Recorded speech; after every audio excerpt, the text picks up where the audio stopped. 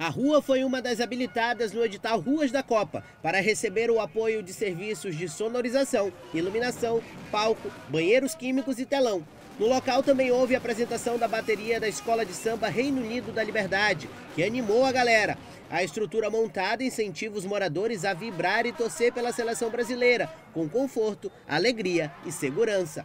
A prefeitura faz seu trabalho, porque a comunidade se mobilizou para decorar essa decoração toda, esse investimento todo de decoração foram feitos aí por mais de 90 dias pelas comunidades. E a prefeitura está entrando com a cereja do bolo, que é, é colaborando com a estrutura para que a comunidade possa assistir os jogos em grande estilo. A movimentação de torcedores começou desde cedo e mais de 10 mil pessoas estiveram presentes para torcer pelo Brasil, segundo a organização. Para mim e para todos, acredito que é uma das coisas principais, é primordial. Tem que ter segurança na rua, que isso ajuda muito né, a organização, em primeiro lugar. Isso eu acho que também é o diferencial da nossa rua, porque temos organização, tem horário, tem como entrar, tem como sair, é toda uma estrutura. Não é simplesmente uma diversão, é diversão com segurança, que é o melhor. Enfeitada com bandeirolas e ornamentada em clima de Copa, a Rua do Morro da Liberdade atrai olhares de torcedores de toda a cidade.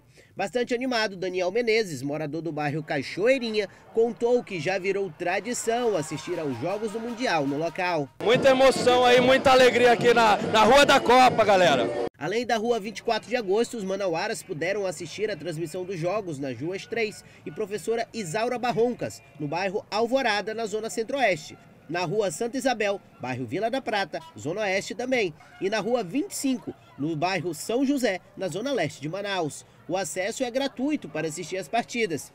A partida entre Brasil e Camarões fechou a primeira rodada do Grupo G do Mundial e terminou com um placar de 1 a 0 para o time da África Central. Apesar do placar, a seleção brasileira está classificada para as oitavas de final e vai enfrentar a Coreia do Sul, hoje às 3 da tarde.